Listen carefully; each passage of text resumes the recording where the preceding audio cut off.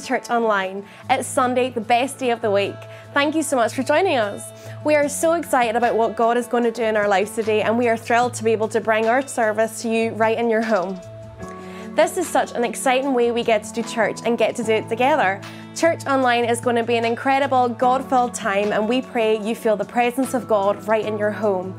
It is also completely interactive, so you can talk to our pastors, ask for prayer, and respond to the word. Now, the GP worship team are about to lead us in worship before Pastor Jeff brings a powerful, life filled message straight from the heart of God. We hope you really enjoy the service. Now, jump to your feet and get ready to worship.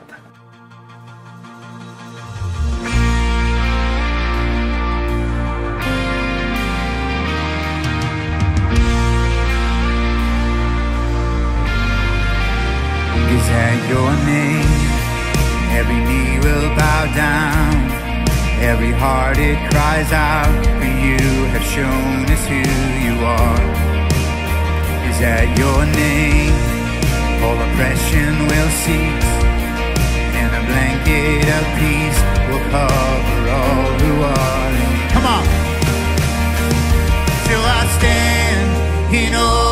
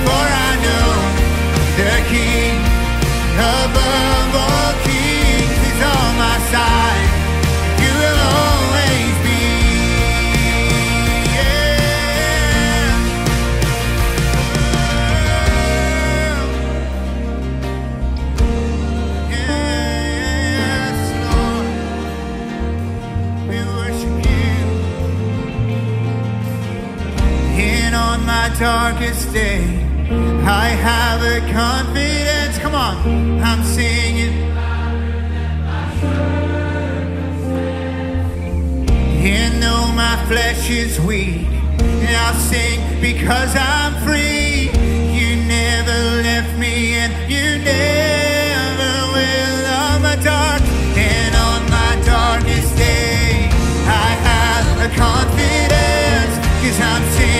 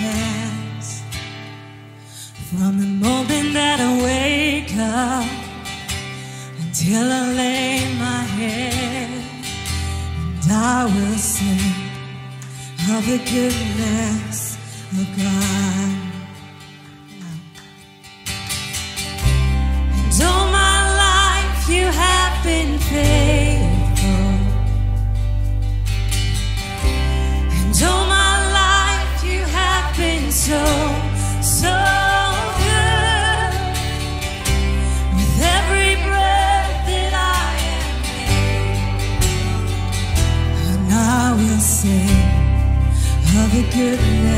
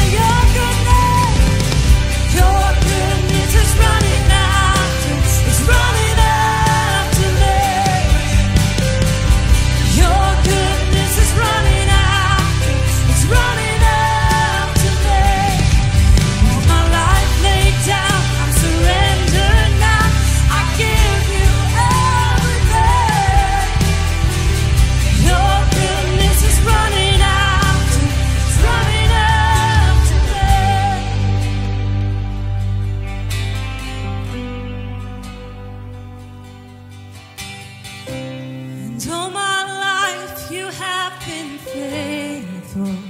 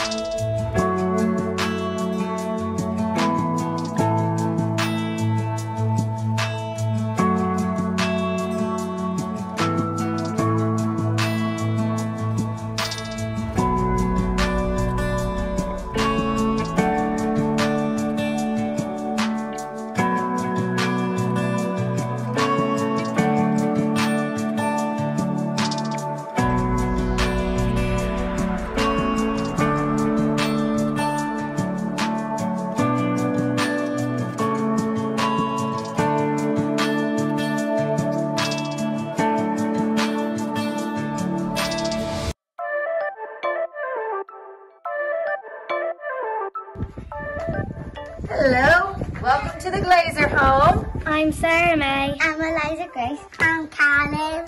And I'm Mummy and Baby. Number four. Number four. And I'm Zach. I'm behind the camera.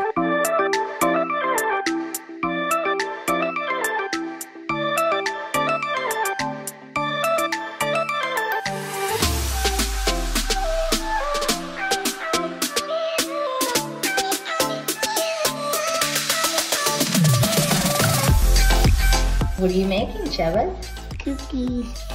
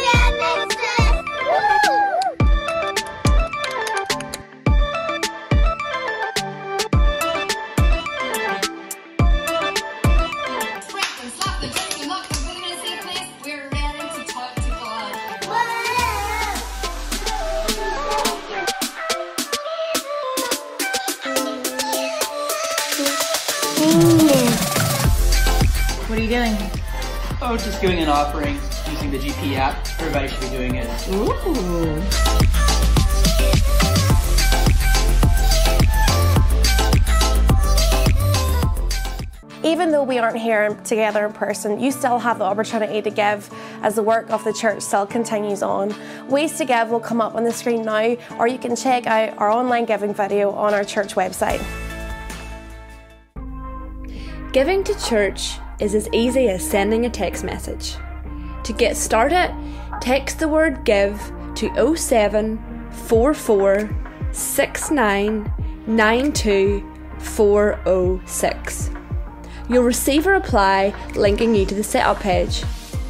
Securely enter your information and you're all set. Now you're ready to give anywhere at any time. Just enter the amount and you'll receive a confirmation text and an email receipt. Made a mistake? No problem. Just text refund in a reply. You can also give from our church website by going to www.gpastures.co.uk forward slash give. Or finally, you can give from our church app. Find this at www.gpastures.co.uk forward slash app.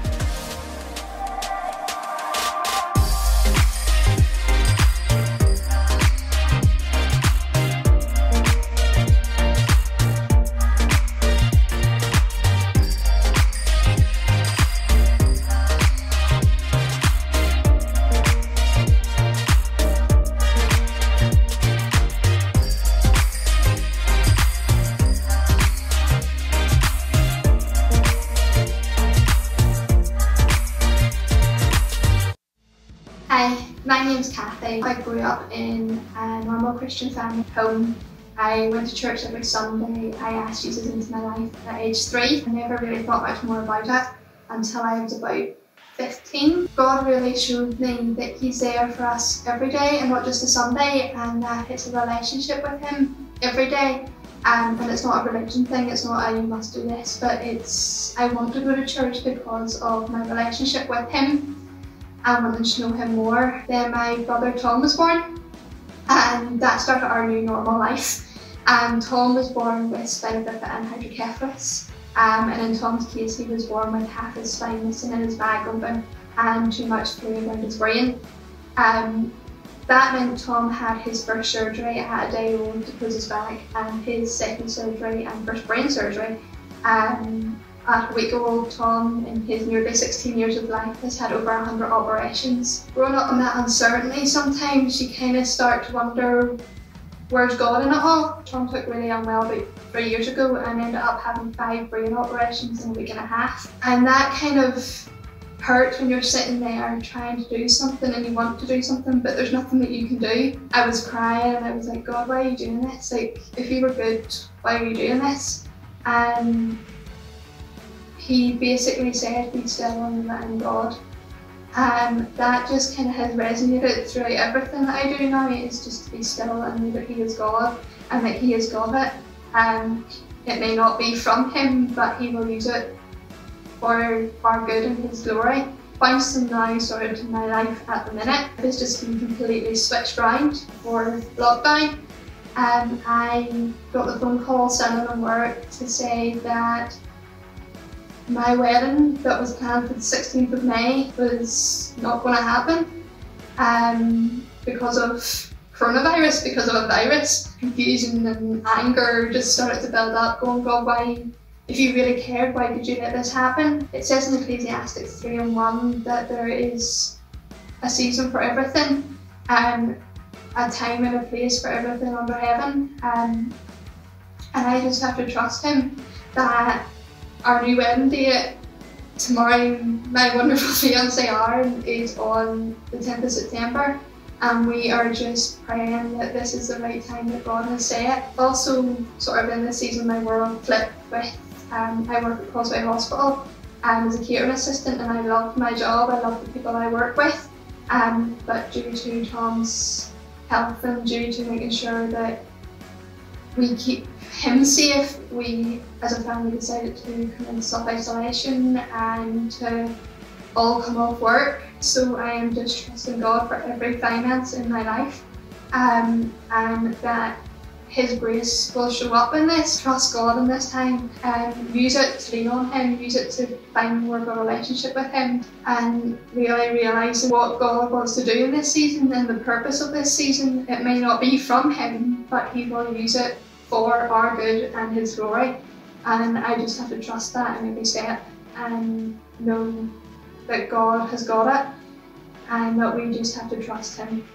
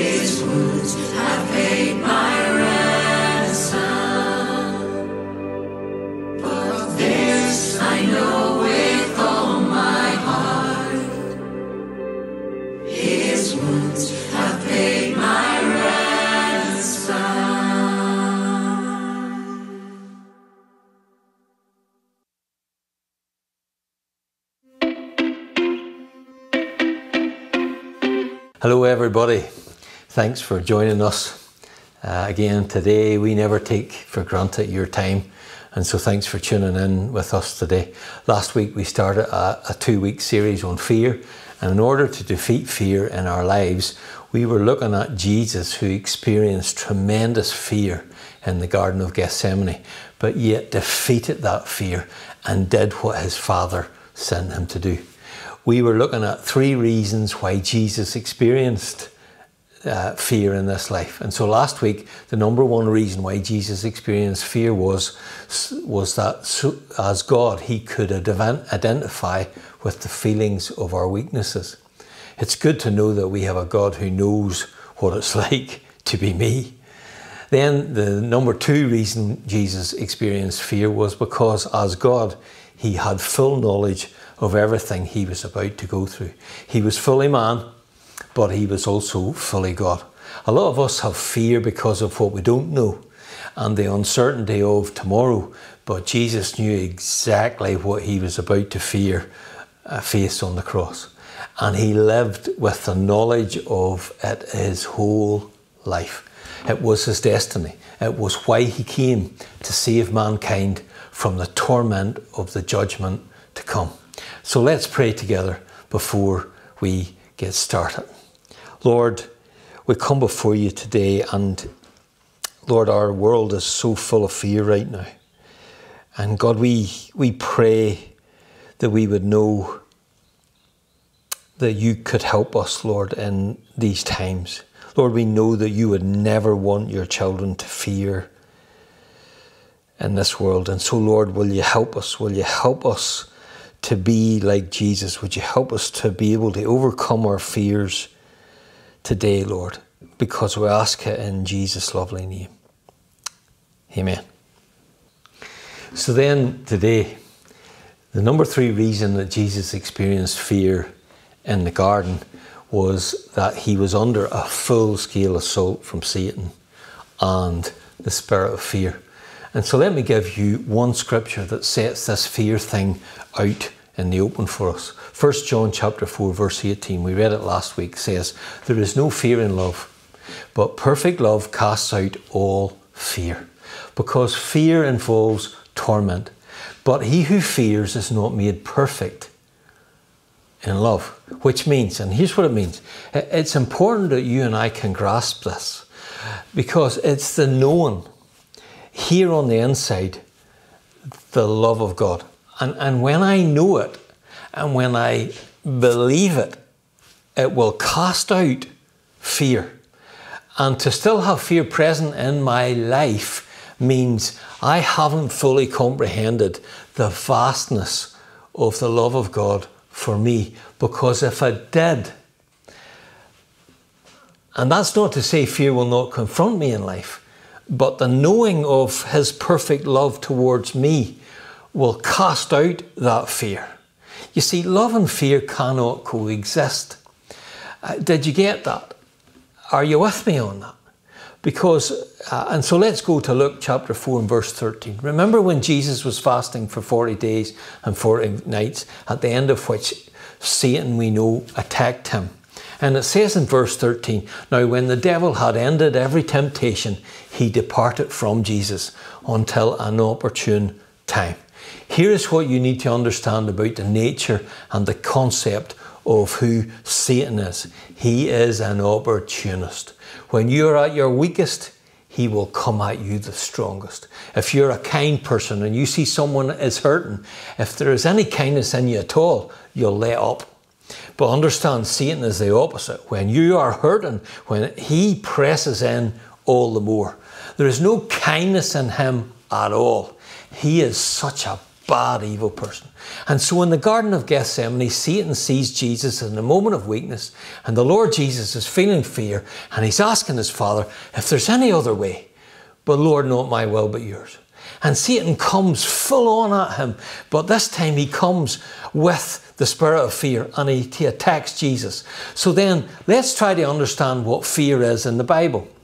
Fear is not a something, it's a someone. Let me repeat that. Fear is not a something, it's a someone. Turn in your Bibles to 2 Timothy 1, verse 7. The Bible tells us what fear really is.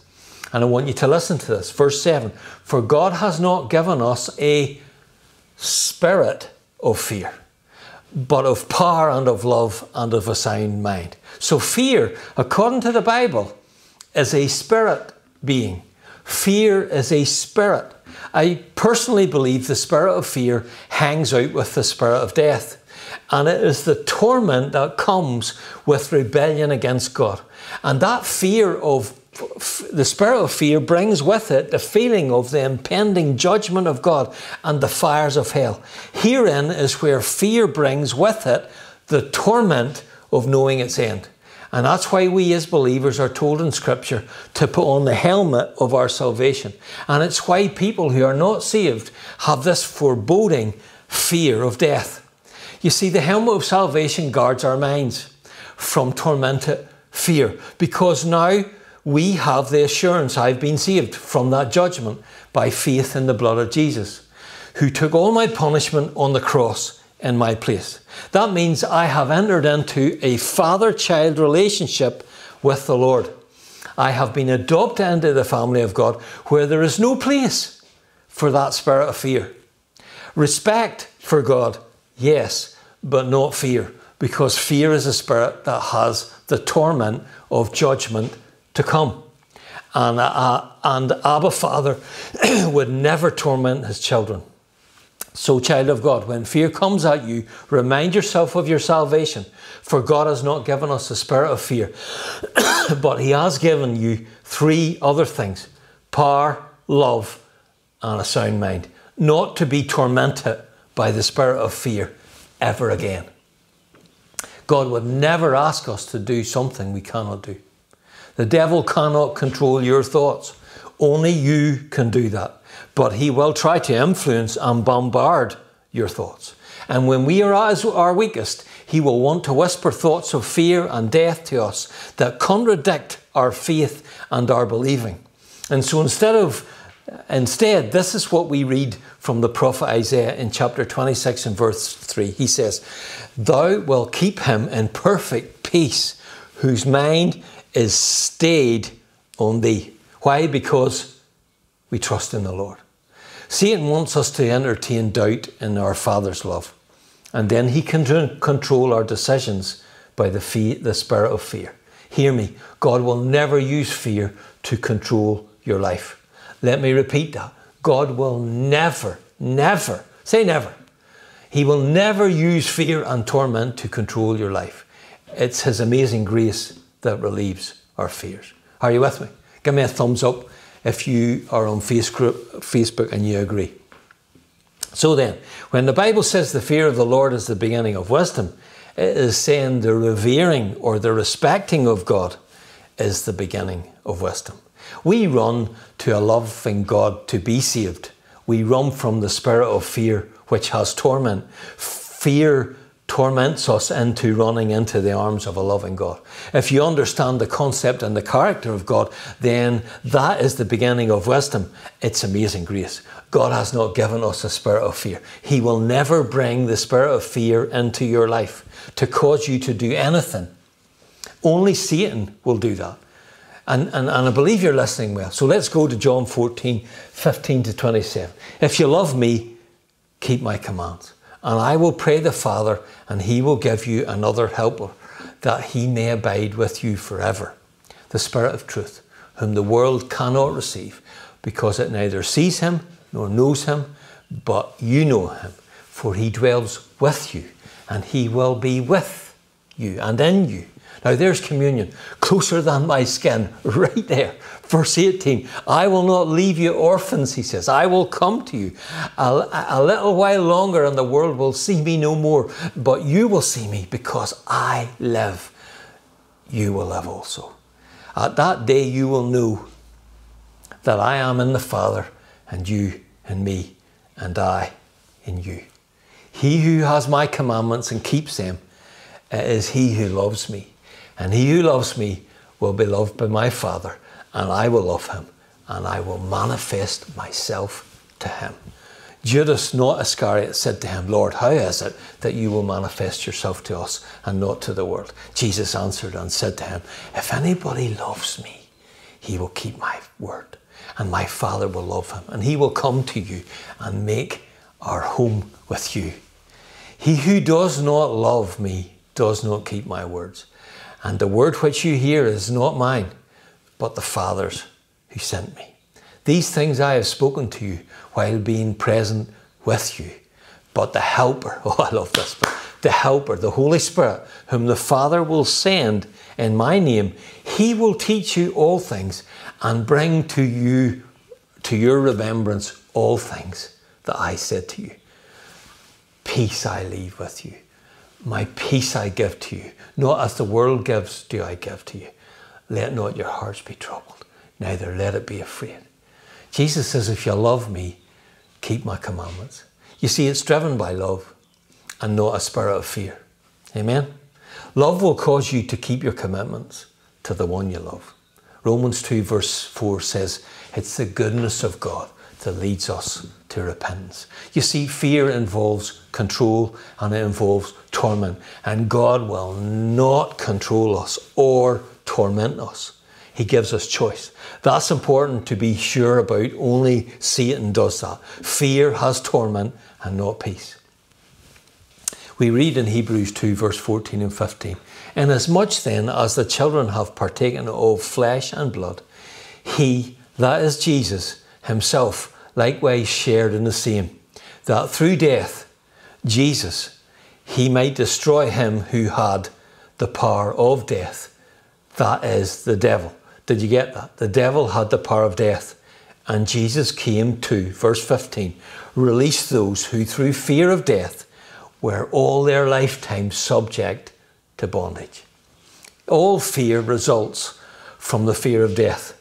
But Jesus said to Mary and Martha in John 11, verse 25 and 26, listen to what he says I am the resurrection and the life. He who believes in me, though he may die, though his corrupted container or body will die, though he die, he shall live. And whosoever lives and believes in me shall never die. Do you believe that? Do you believe that as a believer? Understand that you will never experience the death angel and his icy touch. You will never be buried in a casket. Your sin corrupted body will be there, but your spirit and soul will live on, absent from the body, but present with the Lord. The instant you close your eyes on this earth, they will open, absent from the body, all present from the, with the Lord.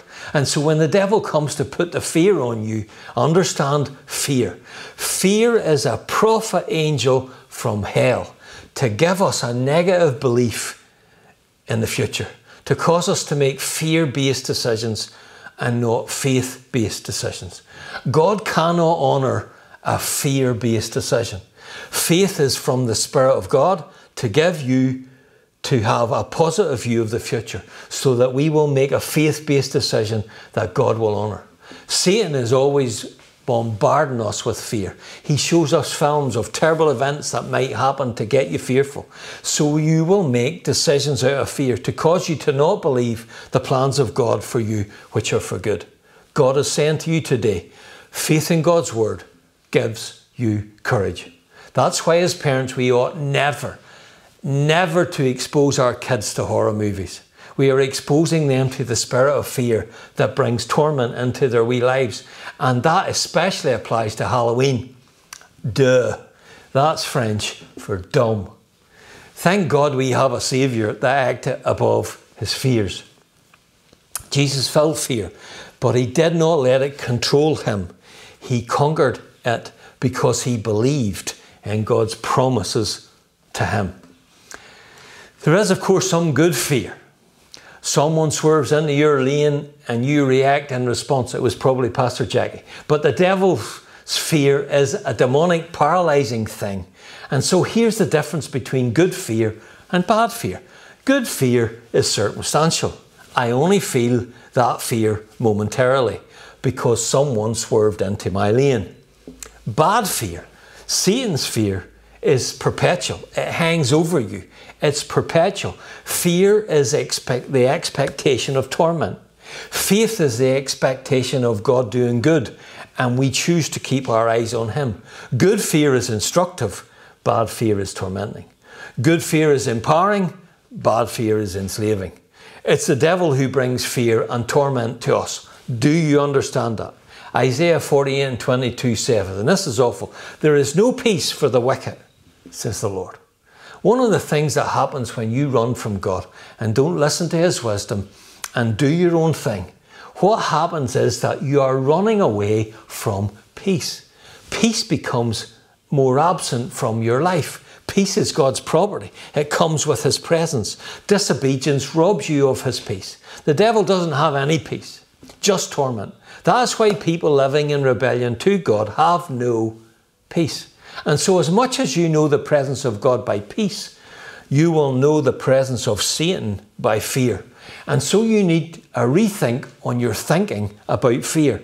When fear shows up, it doesn't mean that you're demon possessed, but that it means that Satan, in your moment of temptation and in your moment of weakness, is sending the spirit of fear who is trying to bully you into making a decision that is contrary to the will of God for you to cause you to let go of your faith and your believing.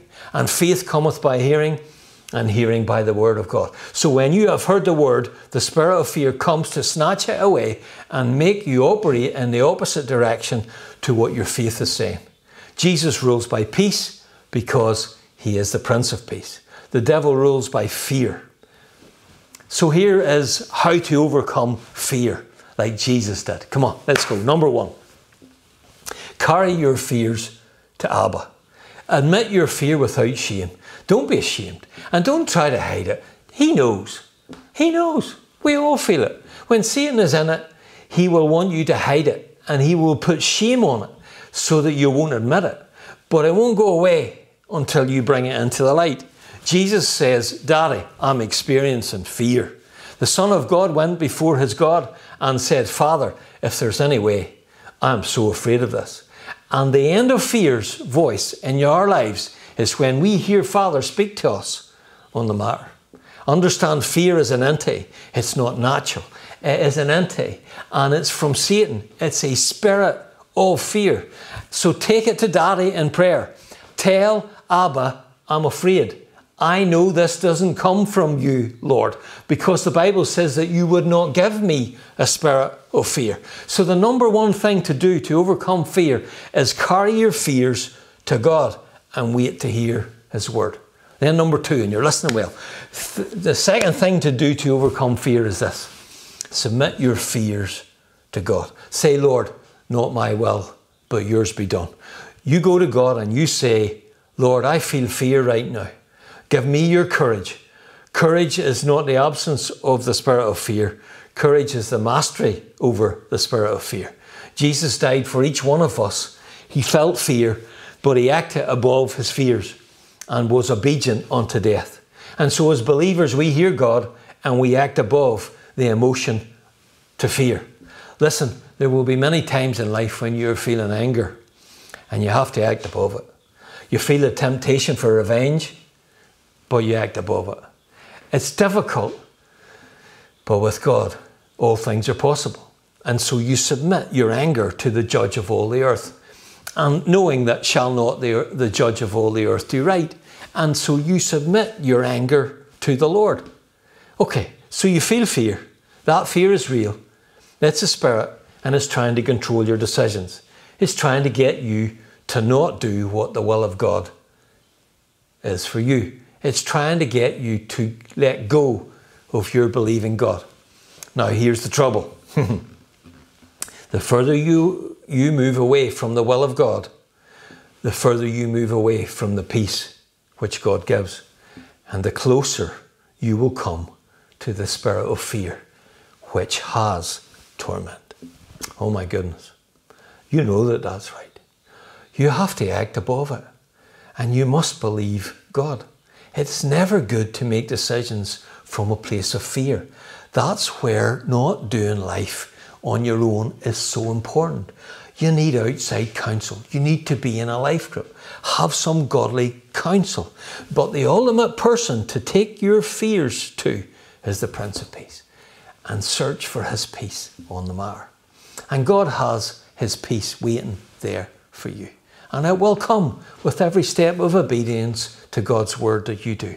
But we must separate out the feeling of fear. My fear and my emotions may be real, but that doesn't mean acting on them is the right thing to do. My worst decisions in life were made out of fear. But to do the will of God is to bring peace back into your life. I constantly feel fear, and it starts every Saturday night before I preach on Sunday. But God wants His people to act above their fears. And so, number two way to overcome your fear is to submit your fears to Daddy. Then, finally, I can thank you for listening. The number three thing to do to overcome your fears is focus on God's presence and His love. Now that you're saved, now that you're in the family, focus on 1 Corinthians 13 kind of love, which is the way you deal with fear. But let's look at this practically. The children of Israel, as they came into the land God had promised them by faith, there were giants there, huge people, nine feet tall. And the spies said, You know what? We were like grasshoppers in their sight, and they will destroy us if we go in there. We can't do it. But Joshua and Caleb believed God's promise and said, Look, their protection has been lifted from them. They will be like bread to us. And they acted above their fears, choosing rather to believe the word of the Lord to them. And that's what I'm saying to you as a believer. The devil will always put the giant of fear at the gateway of God's promises to your life. And that giant will try to keep you by fear from obtaining the promise of God. But when God gives you that word, gives you that promise, that giant needs to be taken down because God's word brings the victory. What a blessing it is to move in after the giants have been in the lion. Big houses, big barns, big dinners. But 10 people came out and terrified a nation with a bad report. That's why you need godly counsel in your life. And two people said, No, we are well able to defeat them because, yes, we see the giants, but God is bigger still. So let's go take our promise. So, how big is your God? And how big is your devil? Apparently, the universe cannot contain our God. Okay, so finally, let's look at two portions of Scripture to help you, coming from Psalm 23, verse 4 and 5, and let's read them together. Yea, though I walk through the valley of the shadow of death, death here is called the shadow. We as believers will never be touched by the angel of death. We merely walk through the shadow of him. I will fear no evil, it says, goes on to say, for you are with me. Your rod and your staff, they comfort me. Here is the confirmation that Jesus, on the way to the cross, experienced fear, but he overcame that fear because of the peace that comes with knowing God is with me. Verse 5 You prepare a table before me in the presence of my enemies, and you anoint my head with oil, and my cup runs over. And then look, let's look at Psalm 16, verse 8 to 11. Verse 8 I have set the Lord always before me, because he is at my right hand. I shall not be moved. Therefore, my heart is glad and my glory rejoices. My flesh also will rest in hope, for you will not leave my soul in the grave or the grave of departed spirits, nor will you allow your Holy One to see corruption. Speaking of Jesus, you will show me the path of life. In your presence is the fullness of joy, and at your right hand are pleasures forevermore. I have set the Lord always before me. You know, on the way to the cross, the devil was present with Jesus in his moment of weakness, and he is telling Jesus, You're a disappointment to your father. You're a huge failure. He's going to leave you rotten in the grave. Don't think he's coming for you. God will not come and get you out of there. But Jesus replies by faith in the word. Now, listen to it. He will not allow his Holy One to see corruption. He's not going to leave me in the grave. And Satan, in his presence, And Satan, do you know in his presence there's fullness of joy? You will show me the path for me. And Jesus is confessing against the spirit of fear that he has set the Lord always before him. Do you know the Lord is always before you if you're a believer? So set your attention upon him. He's there. He hasn't left you. He's ever before you. If you will become aware of, of His presence, the spirit of fear is the, is the reality you will experience without God. Peace is the reality you will experience with the presence of God. Faith in the Word of God confirms the peace that comes with the knowing of God's Word. The helmet of salvation confirms to us that God is with us. And by faith, there are angels sent to minister to you and guard you, since God before us. We believers don't walk by sight, we walk by faith. Even though I can't see Jesus, I see the Lord always before me. Therefore, I will not be moved. The devil wants us to, to turn our believing God into disbelieving in the protection of our God over us. But we can choose to trust Him.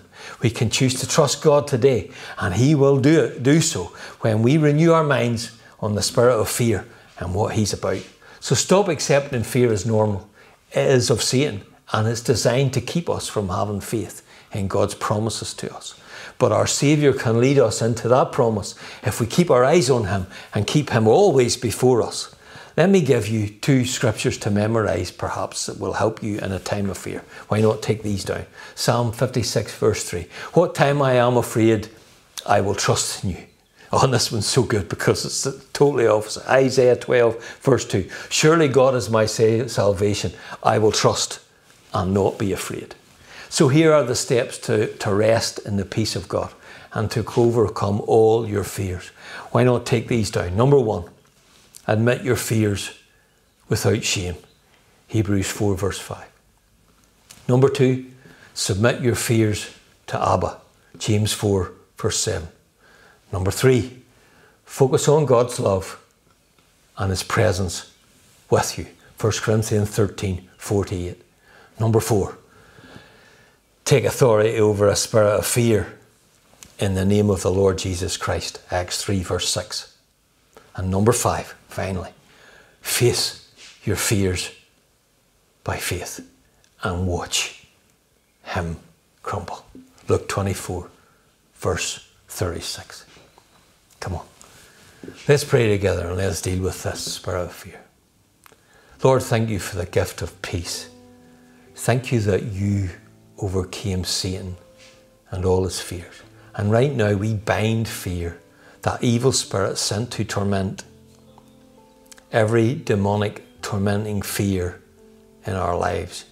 We see you as the enemy of God, an enemy to do the will of God in our lives. We bind you in the name of Jesus Christ of Nazareth. We choose peace. We choose healing. We choose life. We choose faith and the comfort of the Holy Spirit. Lord, renew our minds, heal our hurts, and give us your supernatural peace, dumb peace that surpasses all understanding, that we might have courage in your promises to us, so that we can live in victory. And we ask it in the name of the one who defeated fear, so that we could live in victory too. We ask it in the name of the Lord Jesus Christ. Amen. Why not make that your confession? You know, perhaps you've joined us today and don't know Jesus, the Prince of Peace. Do you know that his love for you was so strong that he went to the cross and took the punishment and torment for your sin? So that when that death angel comes looking for you someday, and he will come looking for us all, there's just one thing that will cause him to pass over you. It's when he sees the blood.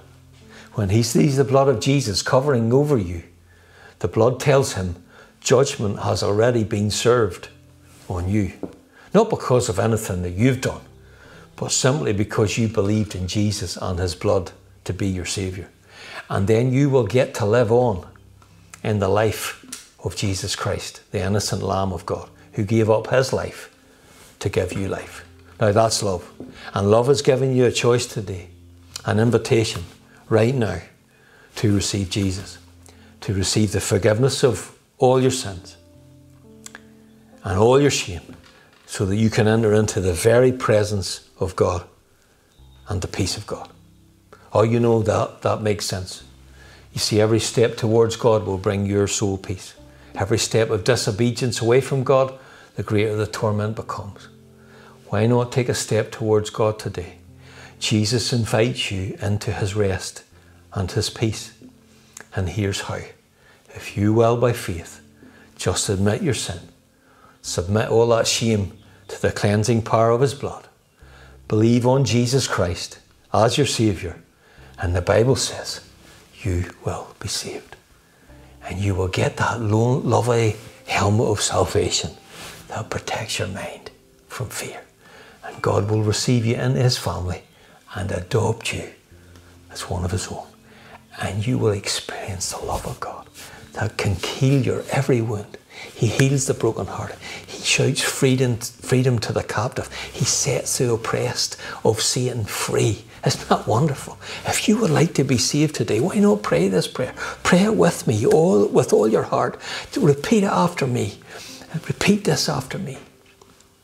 Father, I come to you in the name of your Son, the Lord Jesus Christ. And I thank you for dying for me on the cross, for dying for all my sin. Thank you for your blood that covers all of that sin. And I pray, Lord, that you would forgive me for all my wrongdoing. Come into my heart, Lord. Come in and live. Come in and change me from this day forward, from now to eternity. And may I serve you all the days of my life. In Jesus' name, I pray.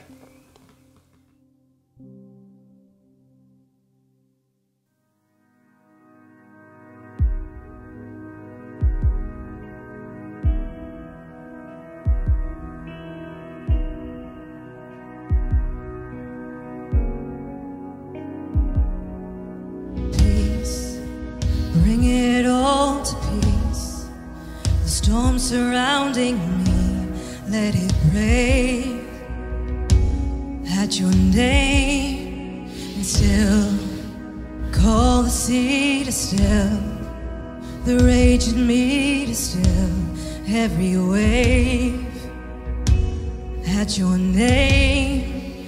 Jesus, Jesus, you make the darkness tremble. Jesus, Jesus, you silence fear. Jesus, Jesus, you make the darkness tremble. Jesus, Jesus. Breathe, call these bones to live. Call these lungs to sing once again. Now we'll praise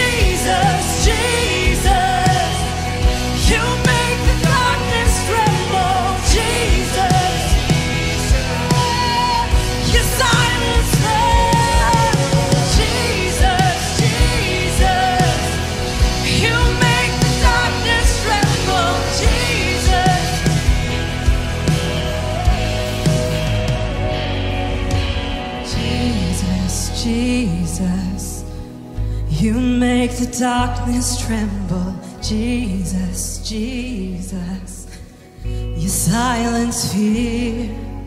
Jesus, Jesus,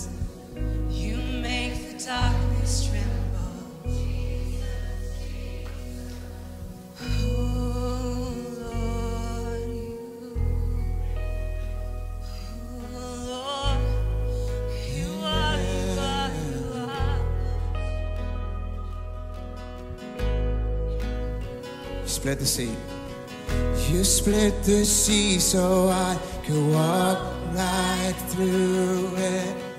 My fears were drowned in perfect love. You rescued me, and I will stand and say, I am a child. Let's declare this morning you split the sea. You split the sea so I could walk right through it.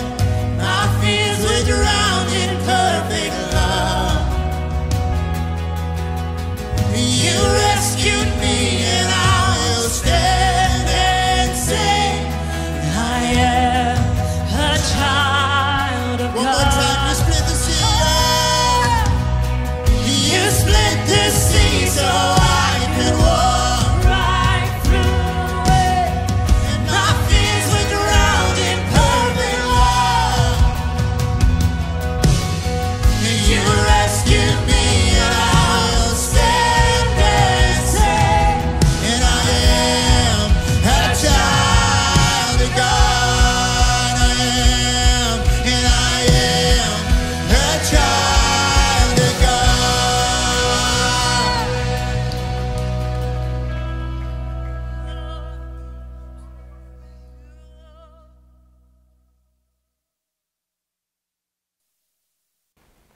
If you prayed that prayer, why not indicate to us by pressing the wee hands up icon on your screen and one of our pastors will help you with the decision that you have made and help you to take your next steps on your journey with Jesus. Thank you. Well done. 'Twas grace that caused my heart to fear, but grace my fears relieved. You know it's been so good to have you with us today. Uh, I just hope and pray that you keep yourself safe. Look forward to seeing you on Wednesday night, uh, where we'll be finishing uh, this series that we have on if God is sovereign, since God is sovereign, why do we need to pray? We're going to answer that, in, in, and I'm absolutely positive that you have never uh, probably have heard what I'm about to say on Wednesday night. It was such a revelation to me, and I hope that you'll join with me as we look at why Jesus spent so much time in prayer as the Son of God and why you and I, he says, ought to do the same. Now, that's a great question. Let's come together on Wednesday night at 8 pm, and I tell you, it's going to be a tremendous night. I hope you'll join me. God bless you, and thanks for being with us today.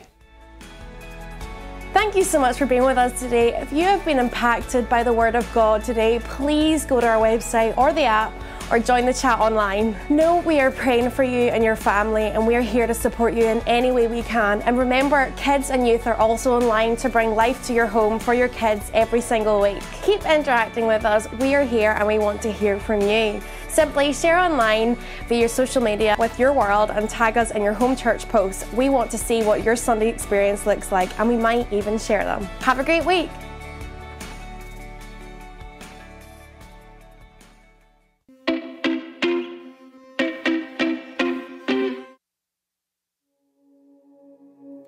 I just want to take just a moment of time uh, during the service right now just to encourage you about our life groups. Life groups are small groups of, of people that meet together during the week uh, with common interests uh, and hobbies that they could enjoy each other's company and build friendships that, that's going to last um, for a lifetime. I want to encourage you to do that. Maybe you've been coming to church these last few weeks online and, and have been watching and really enjoying what's been happening and the word that Pastor's been bringing here in church. So if you have um, been enjoying that and you'd love to be a part of a community, I want to encourage you to jump over to our website at gpastures.co.uk forward slash life groups. And there's a very simple form there that you can fill in some of your details and one of our team will be in touch with you just to let you know how and where and what type of life groups are available for you to join that you could enjoy not just today but you could enjoy for the time to come. Why not do that during today? Take care.